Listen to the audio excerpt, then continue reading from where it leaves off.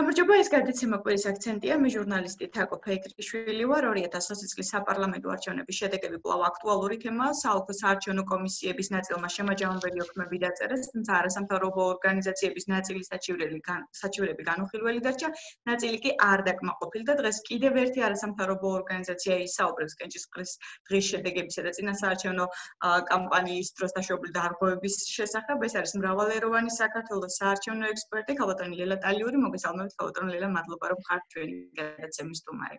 მოგესალმებით მოგესალმებით თქვენს მსმენელს. დიდი მადლობა მოწვევისთვის. ქაუტრონ ლელა რამდენადაც ვიცი თქვენი დამკვირვებლები სამცხე ჯავახეთის საარჩევნო უბნებზე აკვირდებოდნენ კენჭისყრის დღეს პროცესს. როგორ ჩაიარა ზოგადად რო შევაფასოთ ჯერ ამ პროცესმა იყო თუ არა მნიშვნელოვანი დარღვევები ზოგადად რა დარღვევები გამოიკვეთა იმიტომ რომ გექნებოდა რაღაცა შემაჯამებელი ანგარიში დიახ. მრავალეროვანი საქართველო წარმოქმნილი იყო 600 დამკვირვებლი, ძირითადად ჩვენ წარმოქმნილი ვიყავით საქართველოს ეთნიკური უმცირესობების კომპაქტურად დასახლებულ რეგიონებში, მათ შორის ვიყავით სამცხე-ჯავახეთის რეგიონში წარმოქმნილი და ფარავდით როგორც ცალკეულ უბნებს, ასევე მობილური ჯგუფები ყავდა, ოლქის დამკვირვებლები და CS:GO-ს დამკვირვებელი, ანუ ამ ამ სახით ვიყავით წარმოქმნილი და რა თქმა უნდა არჩევნების დღეს წარვადგინეთ დარღვევებზე საჩივრები, ну მიდგომა ქონდა ასეთი, იმიტომ რომ ჩვენ დამკვირვებლები ძირითადად ზეპირ სიტყვერად აფიქსირებდნენ პრობლემებს და ცდილობდნენ ამ გზით მოგვარებულიყო თქვათ შენიშვნები და ხარვეზები თუ არ აღმოიფხრებოდა ამ შემთხვევაში წერდნენ საჩივრებს, ну დილით რო გამოვყოთ, ანუ სანამ უბნები გაიხსნებოდა, რამოდენმე უბანზე ქონდა პრობლემა, რომ დამკვირვებლებს არ უშვებდნენ. აიუბნებოდნენ, რომ მათ დაშვება შეეძლოთ მხოლოდ უბანზე 8 საათის შემდეგ. რამდენიმე უბანი იყო ასეთი, თუ სწორად რაღაც 6-7 უბანი. და უკვე ოლქებში ჩვენი ზარის ჩვენს მიერ ზარის განხორციელების შემდეგ მოხდა მათი დაშვება. შემდეგ დღის განმავლობაში ქონდა სხვადასხვა სახის დარღვევებზე რეაგირება, მათ შორის იყო ხმის მიცემის ფარულობის პრობლემური საკითხები, მათ შორის იყო განმეორებით ხმის მიცემის მცდელობები. იყო მაგალითად ვადაგასული პირადობით ხმის მიცემის მცდელობა ასევე უშუალოდ კომისიის წევრების მხრიდან სხვა სხვაგვარი გადაცდომა მათ შორის აგიტაცია საარჩევნო უბანზე. უკვე დახურვის შემდეგ როდესაც ხმის დათვლა მოხდა და უბნები დაიხურა ძირითადი ხარვეზები რაც იყო მაინც მარნეულის რამდენიმე უბანს შეეხებოდა და ამასთან დაკავშირებით ჩვენ შემდგომ უკვე ოქმთან დაკავშირებით რეაგირებაც მოვახდინეთ სამცხე ჯავახეთში კონკრეტულად რომელ უბნებზე იყო საარჩევნო უბნებზე პრობლემები, სადაც დარღვევებზე დაწერეთ თქვათ საჩივრები და არ ვიცი საუბნოში გააფორმეთ საჩივრები თუ შემდეგ უკვე საალკო საარჩევნო კომისიაში გადაიდეთ. მე ვიცი რომ შემდეგ ბატონო მოგახსენებთ ამასთან დაკავშირებით ეს იყო ახალქალაქის 26-ე უბანი, სადაც ჩვენმა დამკვირვებელმა ამ უბანზე 26-ე უბანზე გადასატანის საარჩევნო ყუთის ბათილობა მოითხოვა, რომელიც შემდგომ ოლქმა განიხილა და არ დააკმაყოფილა, იმიტომ რომ ჩათვალა რომ მოიწოვა ბათილობან რა პრობლემა იყო? ჩვენი დამკვირვებლის ინფორმაციით აქ ერთ-ერთი ამომრჩეველი გადასატანი ყუთისიაში არ იყო თავდაპირველად და მისი ინფორმაციით, დამკვირვებლის ინფორმაციით ამომრჩეველი კომისიამ დაამატა არჩევნების დღეს. თუმცა შემდგომ ეს ფაქტი უარყო საალკო კომისიაში და საალკო კომისიამ გაიზიარა მოსაზრება, რომ ამგვარ ფაქტს ადგილი არ ქონია. და მიზეზით იქ საუბარი იყო რომ 12 კაციანი იყოსია თავდაპირველად ჩვენი დამკვირვების ინფორმაციით და მე-13 ადამიანი დაამატეს არჩევნების დღეს. და საალკო კომისიამ არ გაიზიარა ეს მოსაზრება და შესაბამისად გადასატანის საარჩევნო ყუთი არ გააბათილა. ასევე ახალქალაქის მეათეუბაზე ვადაგას ვადაგასული პირადობის მოწმობით ხმის მიცემის მცდელობას ჰქონდა ფაქტი. ეს ფაქტი ნიშნავს როგორც დამკვირვებლებმა ასევე კომისიამ და ასე ამ ამომრჩეველს მონაწილეობის უფლება არჩევნებში არ მისცეს. აგიტაცია საარჩევნო უბანზე დაფიქსირდა ნიოწმინდის ორ უბანზე. ეს არის მე-9 და მე-19 უბნები სადაც მე-19 უბანზე უშუალოდ კომისიის წევრი, ხოლო მე-9 უბანზე საინიციატივო ჯგუფის წარმომადგენელი ახდენდა აგიტაციას კონკრეტული სუბიექტების სასარგებლოდ. ნინო წმინდის ასევე მე-13 უბანზე ხმის დათვლის პროცესში უცხო პირები შევიდნენ უბანზე, რომელთაც დამკვირვებლის მოწმობები არ ჰქონდათ და ამიტომ ხელი ეშლებოდათ პროცესში. ხმის დათვლის დროს კომისიას 34 უბანი ნინო წმინდა ასევე დილით არ ქონდათ საკონტროლო ფურცელი და ეს იყო მიზეზი იმის რომ ჩვენი დამკვირვებელი მხოლოდ დაახლოებით 9 ნახევრისკენ შევიდა საარჩევნო უბანზე თუ სწორად მახსოვს, ასევე 61 უბანზე იყო არ შეუშვეს დამკვირვებელი თავდაპირველად ახალ ქალაქში იმ არგუმენტით, რომ ეს დამკვირვებელი მათი უბნის დამკვირვებელი არ იყო. რაც შეეხება უშუალოდ როდესაც შემაჯამებელი ოქმები შედგა, შემაჯამებელ ოქმებთან დაკავშირებით ჩვენ წარვადგინეთ საჩივრები ძირითადად მარნეული საალქო კომისიაში, სადაც მარნეულის ორი უბნის და გარდაბნის ორი უბნის შედეგების გადათვლას ვითხოვდით, ასევე წარვადგინეთ სამცხე-ჯავახეთის შემთხვევაში ახალციხეში და ეს შეეხებოდა ახალციხის მეოთხე საარჩევნო უბანს. ასე გადათვლების გადათვლა? კი ბატონო, ჩვენ აქ დისბალანსი დავაფიქსირეთ შემაჯამებელ ოქმში, პროპორციულ შემაჯამებელ ოქმში. ჩვენი მოსაზრებით ეს იყო 4 საარჩევნო უბნი, საარჩევნო ბიულეტენით მეტობა. და აქ მოვითხოვეთ შემაჯამებელი ოქმის ბათილობა პროპორციული და ხელახალი გადათვლა შედეგების. თუმცა ახალქალაქ ახალქალაქის საალქო საარჩევნო კომისიამ ჩვენი საჩივარი განუხილველი დატოვა კომისია. ალბათ, იმიტომ რომ დიახ, ახალკაცრავად, უკაცრავად, დიახ, ახალციხეზე საუბრობდი, დიახ, ბოდიშით. მეოთხე საარჩევნო უბანზე ახალციხის საალქო საარჩევნო კომისიამ განუხილველი დატოვა. აქ კომისია მოგვედავა იმას, რომ ჩვენ დავარღ დაგვიეთ საჩივრის წარდგენის წესი, თითქოს და ეს საჩივარი წარადგინა დამკვირვებელმა და არა ორგანიზაციამ. მოგეხსენებათ, რომ საარჩევნო კანონმდებლობით შემაჯამებელ ოქმებთან დაკავშირებით და შედეგების გადასინჯვასთან დაკავშირებით საჩივრის ავტორი შეიძლება იყოს მხოლოდ დამკვირვებელი ორგანიზაცია და არა მისი რომელიმე დამკვირვებელი. ჩვენ რა თქმა უნდა ეს წესი გავითვალისწინეთ, ამიტომ იმ ადამიანს, რომელმაც საჩივარი ჩააბარა ხელთქონდა ორგანიზაციის წარმომადგენლობაზე უფლებამოსილი პირისგან გაცემული კანონიერი წესით გაცემული მინდობილობა, ანუ წმუნებულება და ეს და საჩივარსაც დავურთეთ, თუმცა ამიზეზით ახალციხის საალხო საარჩევნო კომისიამ საჩივარი განუხილველი დატოვა. მე მინდა შევახსენო მსმენელს, რომ განუხილველად სხვა საალკო საარჩევნო კომისიებმაც დატოვეს არაერთი სადამკვირვებლო ორგანიზაციის საჩივარი. ეს რაღაც ტენდენციის სახით გამოიკვეთა. მე ხლა იმ შემთხვევებში მათთან დაკავშირებით ვერ გეტყვით დეტალურად რას ეხებოდა საქმე თუმცა ჩვენ შემთხვევაში ახალციხემ ასე ასე გააკეთა. ჩვენ გავასაჩივრეთ ახალციხის განკარგულება საალკო საარჩევნო კომისიის განკარგულება სასამართლოში თუმცა მე რა აღმოჩნდა ჩვენ მოგვიანებით გავიგეთ სასამართლოს გარომ ამ უბანთან დაკავშირებით ზუსტად ამავე დავაზე უკვე იყო განხილული როგორც ოლქის ასევე შემდგომში სასამართლოს მხრიდან. თუ არ ვცდები სამართლიანი არჩევნების საჩივრის ჩვენ წინა გადაცემაში ყავდა სამართლიანი არჩევნების წარმომადგენელი და მანი საუბრა ზუსტად ამ უბანთან დაკავშირებით. ერთგვარი მაურიც მოყვა საალხო საარჩევნო კომისიაში აი ამ საკითხს ზუსტად დიახ. და შესაბამისად ჩვენ პროცედურულად ვინაიდან სასამართლოს გაშევითხეთ, რომ დეტალურად იყო უკვე ამაზე ნამსჯელი და ფაქტობრივად არც იყო ეს საჩივარი დაკმაყოფილი, სარჩელი დაკმაყოფილებული სამართლიანი არჩევნების შემთხვევაში, ანუ ჩვენ უარი ვთქვით პროცედურულად ამ საჩივარზე, რადგან დავა უკვე სასამართლოს მხრიდან იყო ამ საკითხზე განხილული. მე ყურადღებას გავამახვილებ იმაზე, რომ ჩვენ ორგანიზაციას არ შეუტანია საჩივრარი მაგალითად ნაკლებობაზე ბიულეტენების. მოგეხსენებათ, რომ უშუალოდ დისბალანს, როდესაც ვახსენებთ, სამართლებრივად დისბალანსი გულისხმობს ბიულეტენების მეტობას, ანუ ფორმულა, რომელიც ამბობს, რომელიც უნდა იყოს დაცული ხმების დათვლისას და შემაჯამებელი ოქმების შედგენისას, მდგომარეობს იმაში, რომ საარჩევნო სუბიექტების სასარგებლოდ მიმატე მიღებულ საარჩევნო სუბიექტის სასარგებლოდ მიღებულ ხმებს დამატებული ბათილი ბიულეტენების ჯამი უნდა იყოს ტოლი ან ნაკლები ამ მომრჩეველთა სიებში ხელმოწერებისა, ანუ კონკრეტულ ბაზაზე არჩევნებში მონაწილე ამორჩეველთა რაოდენობისა. თუ ეს ტოლი არ არის და არის მეტი, სავარაუდოდ იქ ჩნდება კითხვები, რომ შესაძლებელია მაგალითად ადგილი ქონდა საარჩევნო ბიულეტენების კუჩი დამატებას, ხო? ანუ კუჩი აღმოჩნდა სავარაუდოდ ზედმეტი ბიულეტენი და ეს არის პრობლემური.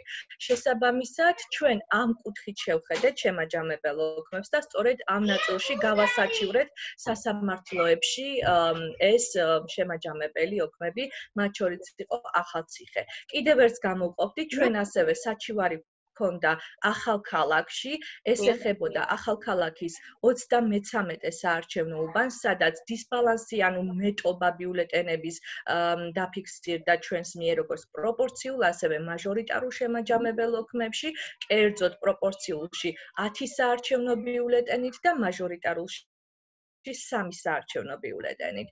თუმცა, როდესაც ჩვენი წარმომადგენელი ოლქში იმყოფებოდა, ეს საჩივარი, წარდგენილი საჩივარი საალკო საჩვენო კომისიამ არ ჩაიბარა და თავმჯდომარე მოლქის თავმჯდომარე მას განუმარტა თითქოს და ამ უბანზე ეს ხარვეზი უკვე აღმოფხრილი იყო. ანუ ეს ჩვენთვის მოგვიანებით გახდა ცნობილი, რომ ეს საჩივარი არ იყო დარეგისტრირებული, ჩვენ ვცოდნო და ანუ ყველა ღონეს ვიხმარდით, რომ ეს საჩივარი ასე ვთქვათ ყოფილიყო ფიზიკურად. ანუ საჩივარი ჩააბარეთ, მაგრამ არ მიიღეს და გვიან გაიგეთ, რომ არ დაარეგისტრირეს. ჩვენ ჩვენი საჩივარი არქივარი ოლქში მივიდა, მაგრამ ჟურნალში აღარ იქნა დარეგისტრირებული, ანუ იმ არგუმენტით, რომ როგორც განუმარტა ოლქის თავმჯდომარემ ჩვენ დამკვირვებას ეს პრობლემა აღმოიფრა, დამკვირვებელი უკან წამოვიდა, თუმცა მოგეხსენებათ, რომ შემჭიდროვებული ვადების იმ არგუმენტით არო რომ დაიბარეს მომდენო დღეს ჩაებარებინა თითქოს და ეს საჩივარი, მაგრამ მომდენო დღეს უკვე ფაქტიურად გამოვიდოდა, რომ ვადა იქნებოდა გასული და შესაბამისად ჩვენ მოგვიანებით გავიგეთ, რომ ასეთი დია დიალოგი და ასეთი განმარტება მოხდა ოლქის მხრიდან. ამასთან რასაც საუბრობთ აღმოჩნდა რომ თითქმის ანუ რაც საჩივრები რაც თქვენ ქონდათ შეტანილი არ არის დაგმაყოფილებული რეალურად ან რაღაცა ნაწილია დაგმაყოფილებული როგორ ფიქრობთ საალკო საჩივრე კომისიები რამდენად კომპეტენტურად მსჯელობდნენ რამდენად კომპეტენტურად წყვეტდნენ იღებდნენ გადაწყვეტილებას საჩივრების დაგმაყოფილებასთან დაკავშირებით? ან სამცხე ჯავახეთში თუ ქონდათ აი რომელიმე საჩივარი ბოლომდე დაკმაყოფილებული დაგმაყოფილებული რასაც მოითხოვთ თუ შეასრულოთ კომისია აა იცით რა არის ანუ როდესაც მაგალითად საუბრობთ ოლქის საჩივრებს, აკუ აქ უკვე მოიაზრება ის, რომ ჩვენ უბნის ნაწილი კენჭისყრას და გავლილი გვაქვს. ანუ უბანში როდესაც დარღვევა იყო, ანის აღმოიფრა ადგილზევე, ან თუ არ აღმოიფრა, ჩვენ წავიღეთ ოლქში.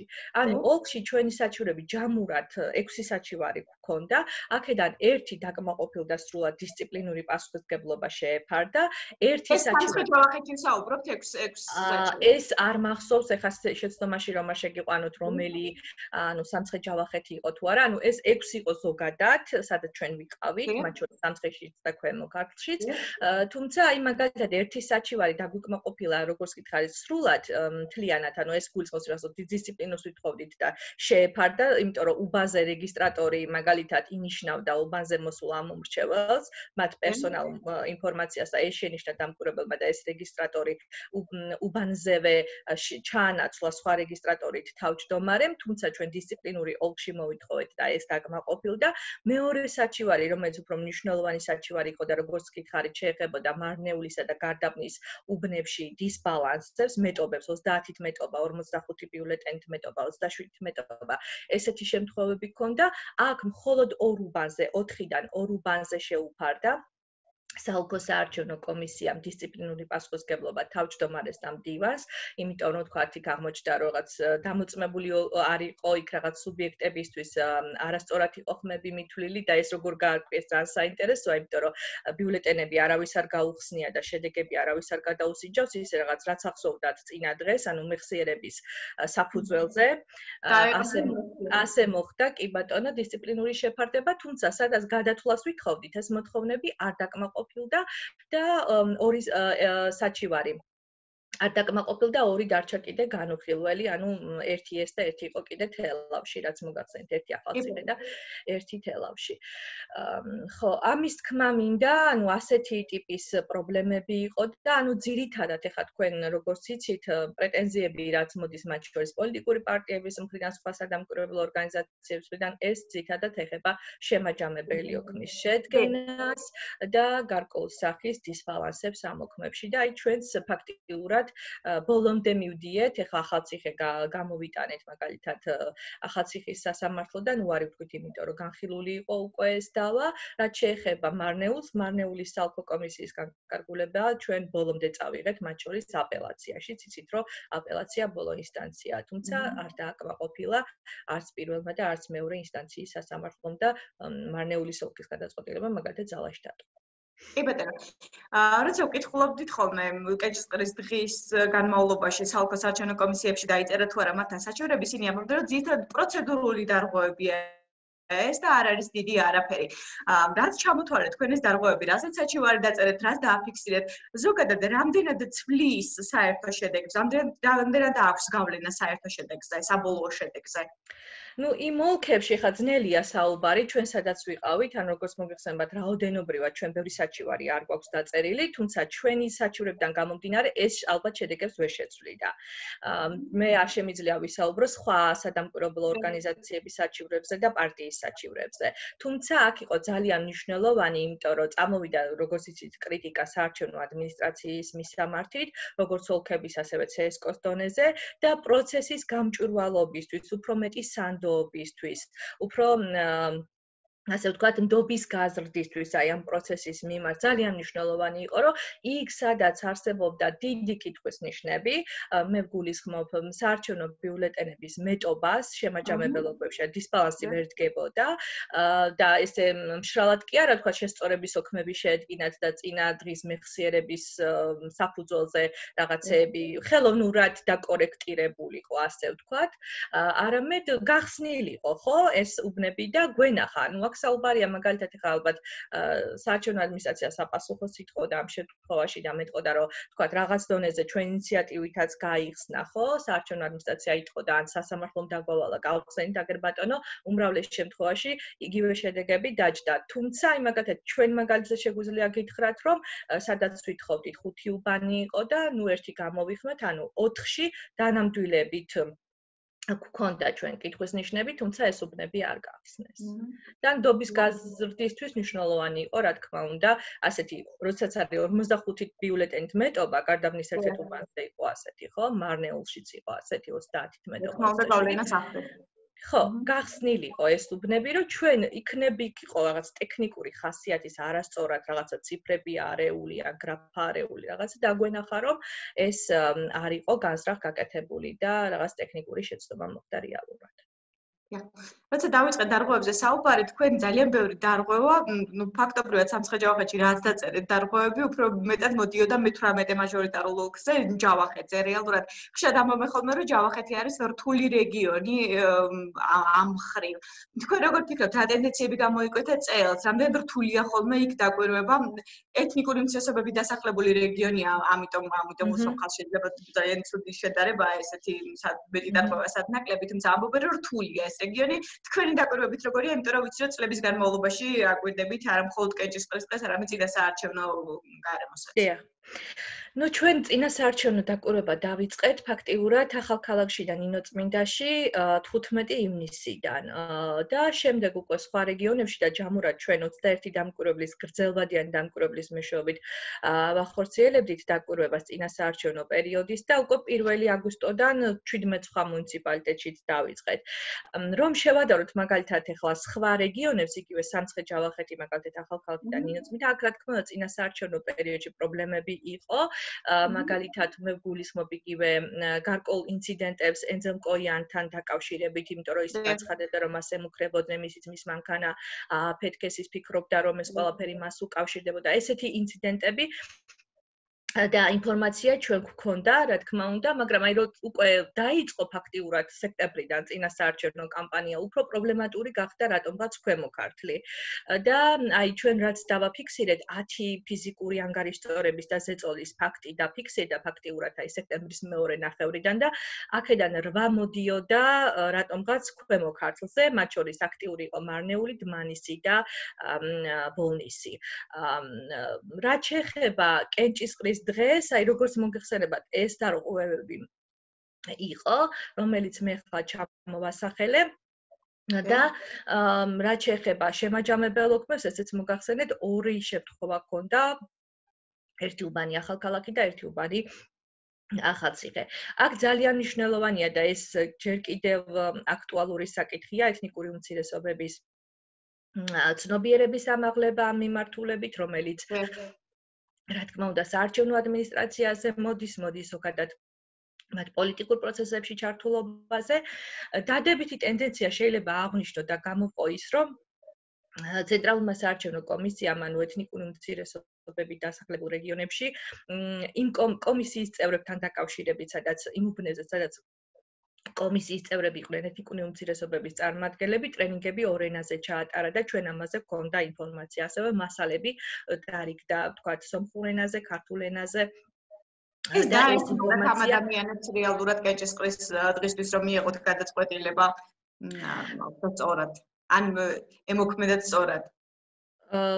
იცით რა არის? საერთოდ ძალიან ყველაზე მეტად ეხა ჩვენი დაკვირვებით არა მხოლოდ ეთნიკური უმცირესობების დასახლებულ რეგიონებში, არამედ ზოგადად ყველაზე მეტად საუბნო საარჩევნო კომისიის წევრებს უჭერთ სამართლებრივი დოკუმენტების შედგენა. მე ვახსენე აი ერთი უბანი, როდესაც ვთქვათ, არ ქონდათ ნინო წმინდაში საკონტროლო ფურცელი კიდე იყო ერთი შემთხვევა, როდესაც გაუჭიდათ საკონტროლო ფურცლის შევსება და ზოგადად შემაჯამებელი ოქმების შევსება. ესეც რა თქმა უნდა, სამართლებრივი დოკუმენტებია და ყველაზე მეტად აი ამ დოკუმენტების შედგენა უჭირთ. დანარჩენი ალბათ უფრო არის კანონის პატივისცემა, და ეთიკის პატივისცემა, იმიტომ რომ საარჩევნო ადმინისტრაციის წევრები, როდესაც ისინი უფლებამოსილება შეუდგებიან ხოლმე, აწერენ ეთიკის კოდექსზე ხელს, რითაც ვალდებულებას იღებენ, რომ საკუთარ საქმიანობაში პატივისცემენ კანონს და პატივისცემენ ეთიკის ნორმებს.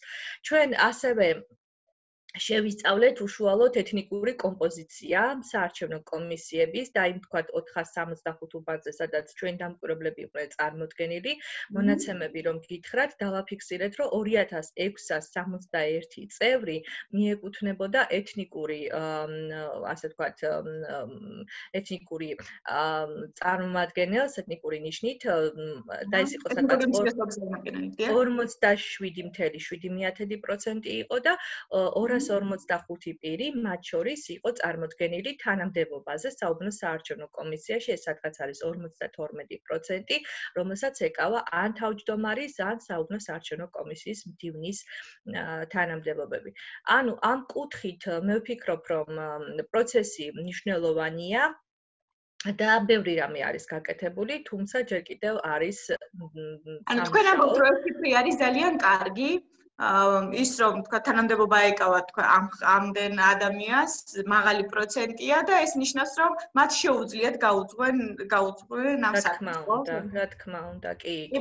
ეს ციფრები არის მაგალითად თანამდებობის პირების შემთხვევაში ჩვენ სადაც ვიყავით შესული 52% იყო ეთნიკური უმცირესობების წარმომადგენელს ეკავა და ეს არის მნიშვნელოვანი და მნიშვნელოვანია რომ ეს ადამიანები ასევე პოლიტიკურ ცხოვრებაში იყვნენ ჩართულები. მათ შორის დასახელებულები იყვნენ პარტიულ სიებში კანდიდატებად ჩვენ ამ კუთხითაც ვსწავლოთ პროცესებს და ვხედავთ რომ ეს მიმართულება ვთქვათ არის ასეთი ტენდენცია როდესაც პარტიები ითვალისწინებენ ვთქვათ ეთნიკური ფუნქციასობების წარმომადგენლებს სიაში თუმცა სამწუხაროდ ეს არ არის ხოლმე გამსვლელი პოზიციები ანუ სის თქვათ დასაწყისში ან უკეთ ადგილებზე, სადაც ალბათობა შეიძლება იყოს მაღალი, რომ ამ პარტიების პარლამენტში მოხვედრის შემთხვევაში ეთნიკური უმცირესობების წარმომადგენლებიც, რომლებიც სიებში არიან წარმოქმნილი, მოხვდებიან. სასურველია, რომ ეს დამოკიდებულებაც შეიცვალოს და მეტი აქცენტი გაკეთდეს ამაზე. დიახ, თუმცა ერთი საკითხიც არის გასათვალისწინებელი. ახლა ჩვენ ვინც ყავდა თქვა სამცხე-ჯავახეთიდან დეპუტატები, ეთნიკური უმცირესობის წარმომადგენლები, ისინი ამბობდნენ, რომ სიტყვით ვერ გამოვიდოდნენ საპარლამენტო ტრიბუნაზე, იმიტომ რომ არ იცოდნენ ქართული ენა, ალბათ ეს შესაძლებელია და რაღაცა ინტეგრაციისთვის აუცილებელია, რომ დავეხმაროთ ან მივცეთ ისეთი სისტემა, რომელიც ხელშეუწყობს მათ შესწავლას შეისწავლონ სახელმწიფო ენა. აა კიდევ ერთი კითხვა მაქვს ქალტრნელა გასულ არჩევნებთან შედარებით რა გამოიკვეთა რა ტიპის დარღვევები იყო იმიტომ რომ წელს თითქმის ყველა საუბრობდა იმაზე რომ ადამიანები როდესაც გამოდიოდნენ კაბინეტიდან მაშინ კეცავდნენ ბიულეტენს და ისედებდნენ კონვერტში. წინა წლებში ასეთი მასობრივი სახე ამას არ ქონდა აა იყო თუ არა რაღაცა ისეთი დარღვევები რომლებიც სხვა წლებში არ ხდებოდა თუმცა წელს გამოიკვეთა მე ვერ ვიტყოდი რომ რამე ისეთი დარღვევა იყო რომელიც წინაწლებში არ იყო არ ფიქსირდებოდა. შეიძლება რაღაცეები ახლა უფრო მეტად წამოვიდა ზედაპირზე მაგალითად შემაჯამებელი ოქმების შედგენის თემა ძალიან აქტუალური გახდა და ფაქტიურად მთელი კრიტიკა ამ არჩევნების მისამართით სწორედ შემაჯამებელი ოქმების შედგენაზე მოვიდა. თუმცა წინასაარჩევნო პერიოდში ასევე ფიქსირდებოდა ისეთი პრობლემური საკითხები რომელიც იყო ზღვარის არარსებობა მართო პარტიის საქმიანობასა და ხელისუფლების საქმიანობას შორის ეს არის მნიშვნელოვანი საერთაშორისო სტანდარტი რომელიც მოითხოვს რომ ზღვარი იყოს მკვეთრად გავლებული მას შორის რასაკეთებს პარტია და რასაკეთებს ხელისუფლება. ხო ჩვენ ეს დავინახეთ რომ თელ რიგ შემთხვევებში ეს ყვარი იყო წაშლილი, თუნდაც სხვადასხვაგვარი მსხვილი პროექტის ინიცირების ან საბიუჯეტო ბიუჯეტად დაფინანსებული პროექტების პრეზენტაციების ან მაღალი თანამდებობის პირების კამპანიაში ჩართულობის, ოდესაც თქვათ ისინი კანდიდატებს ახლდნენ და კანდიდატებთან ერთად ამორჩეულს პირდებოდნენ კონკრეტული პრობლემების უახლოეს პერიოდში მოგვარებას.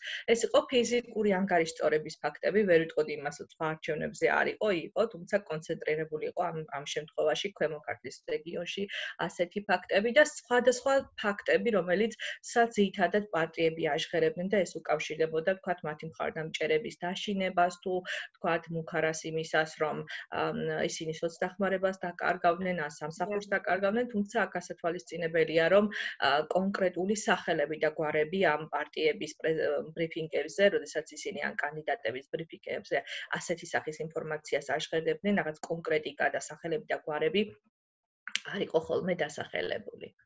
კი ბატონო, არაუფლებამოსილი პირების მონაწილეობა კენჭისყრის დღეს ისინი რეგისტრირდებოდნენ როგორც რაღაცა ერთ-ერთი ორგანიზაციის წარმომადგენლები, მაგალითად საკრებულოს თავმჯდომარეები ჩვენთან, საკრებულოს წევრები. მსგავსი შემთხვევები რამდენად ხშირია ხოლმე და წელს თუ გამოიკვეთა?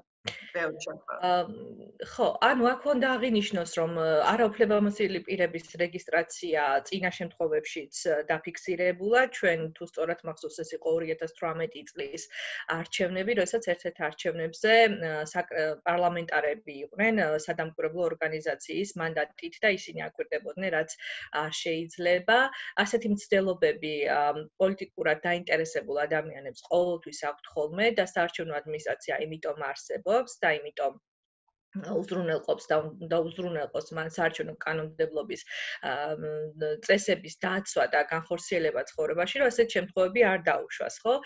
იყო ხოლმე შემთხვევები, თქვა წინა შემთხვევა არჩევნებზე ვაფიქსირებდით და საარჩევნო ადმინისტრაციას არჩევნების დღესვე, როდესაც გავიგებდით ხოლმე ჩვენ სადამკვირვებლო ორგანიზაციები ასეთ ფაქტებს, ვთხოვდით ხოლმე მათი ადამიანურობლო მოწმობების გაუქმებას, რეგისტრაციის ასე ვთქვათ, გაუქმებას, რომ მათ უფლებამოსილება აღარ ქონოდათ კენჭისყრის მიმდინარეობისას ასეთი დაკვირვება არაუფლებამოსილ პირებს გულისხმობ განეხორციელებინათ. საინტერესოა, როდესაც შედიან უბანზე და რეგისტრაციას ითხოვენ, ხო? უნდა დაარეგისტრიროს ის კომისიის წევრმა თუ არ უნდა დივანმა თუ არ უნდა დაარეგისტრიროს.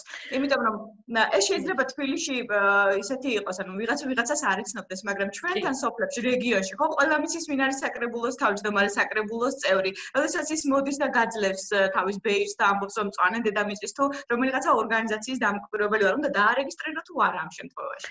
იცით რა არის, ანუ მე რომ ვიყო დივნის ადგილზე მე ალბათ გავარკვევდი ამ შემთხვევაში რის საფუძველზე იქნა გაცემული დამკვირვებლის მოწმობა და თუ მაგალითად ეს ადამიანი იყო ჩემთვის ცნობილი მე ალბათ მოვითხოვდი იგივე იმას რომ მას შეჩერებოდა იმიტომ რომ უკანონოდ იყო ეს ანუ კანონის გვერდისავლით იყო ასეთი მოწმობა გაცემული.